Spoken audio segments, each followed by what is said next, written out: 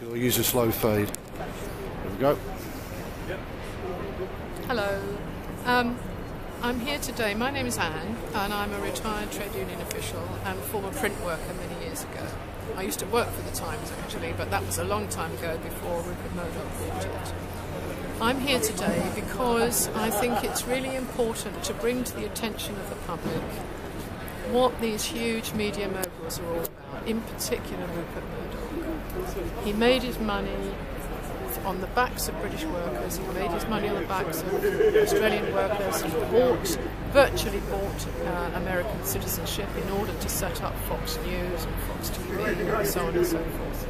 But what he did in 1986 was sack 5,500 people, having recruited a pirate workforce to replace them the conspiracy that that was in, that entailed was unbelievable. And we thought then, in 1986, that anybody who could do that, um, an entire workforce, was capable of doing anything.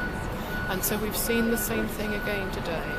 In the last few years, the revelations about phone hacking, where journalists have been sacrificed. We know what the company is all about. They will stop at nothing to extend their political influence their profits and their domination of world media. We have to stop this in the United Kingdom. We have to ensure that no one person, one company, one organisation is allowed to dominate the media in the way